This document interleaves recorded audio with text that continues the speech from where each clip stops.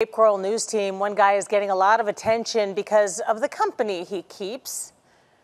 NBC2's Trip Bennett tracked down the Cape Coral Goat Man. Most kids go to a farm or a petting zoo to see a goat.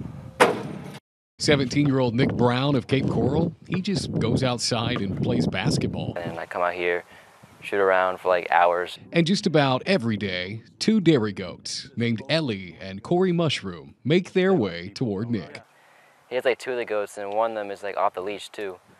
So like he just has them like just running around. They just come, say hi, and just keep going on with his day. Come get some water.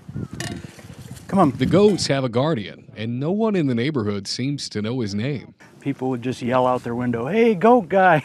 We found out his name is Todd, and everywhere he goes, his two girl goats go too. They basically they basically are dogs. Don't take the neighbors' advice on whether or not these goats are well behaved because I've been standing here with them as they drink water for the last couple of minutes and they have not moved. In fact, they actually, I think they know I'm not trained to do this. I certainly didn't plan to have goat children, but since I got Corey mushrooms and later Ellie, I, I had to change all my plans for my entire life. So while you think your dog is great, and we're sure it is, It takes one second for people to start smiling when they see the babies. these two exotic animals turned pets might just be the greatest of all time.